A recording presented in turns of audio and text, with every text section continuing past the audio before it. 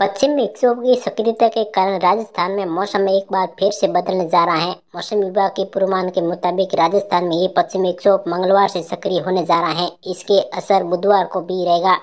इसके असर से राजस्थान के जयपुर, बीकानेर और भरतपुर संभाग के जिलों में बारिश होने की संभावना है। राजस्थान में एक बार फिर से पश्चिम विक्षोभ सक्रियता होने जा रहा है। इसके मंगलवार से मौसम बदलाव आएगा। मौसम विभाग के मुताबिक इसके कारण कल रात से कुछ जिलों में बारिश हो सकती है।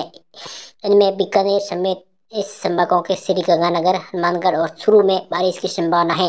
उसके बाद 9 फरवरी को बीकानेर समेत जयपुर और भरतपुर संभाग के भी कुछ जिलों में बारिश होने के आसार हैं। बीते एक महीने में राजस्थान में सामान्य से छियाठ सौ सत्तर फ़ीसदी ज़्यादा बारिश हो चुकी है। मौसम विभाग ने राजस्थान के मौसम में होने वाले बदलाव के कारण तीन संभागों में बारिश की संभावना जताई है।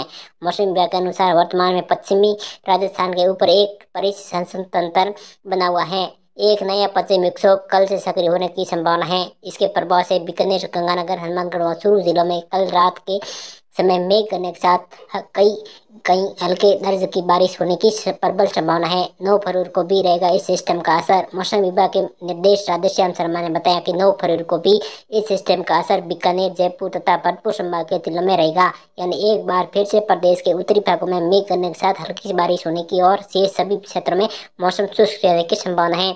देश प्रदेश की ताज़ा खबरों के लिए चैनल को सब्सक्राइब ज़रूर करें।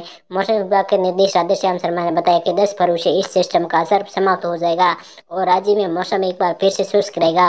बीते एक महीने के दौरान लगातार कई पश्चिमी विक्षोभ सक्रिय हुए हैं। उसके कारण प्रदेश में इस अवधि और से चार सौ सत्तर गुना ज़्यादा बारिश दर्ज की गई है। एक जनवरी से लेकर सात फरवरी तक अमूल प्रदेश में करीब चार मिलीमीटर बारिश दर्ज की, की जाती है लेकिन इस साल चौबीस मिलीमीटर बारिश दर्ज की गई है।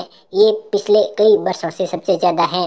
उल्लेखनीय है कि बारिश के इस असर के कारण इस बार राजस्थान में रिकॉर्ड तोड़ सर्दी पड़ रही थी।